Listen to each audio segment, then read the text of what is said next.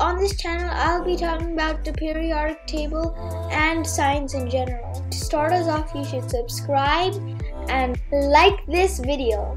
Let's start off with the second element of the periodic table.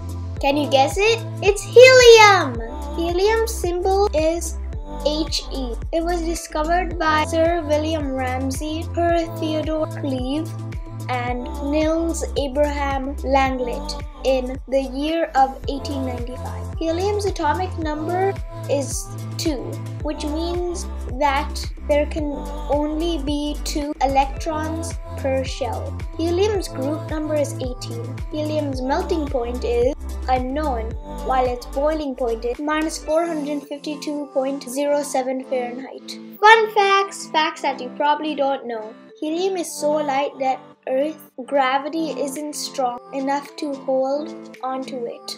The helium rises until it escapes into space. At temperatures close to absolute zero, helium condenses to a liquid. Helium's properties are being a superfluid and it can flow over walls of containers. Bye guys!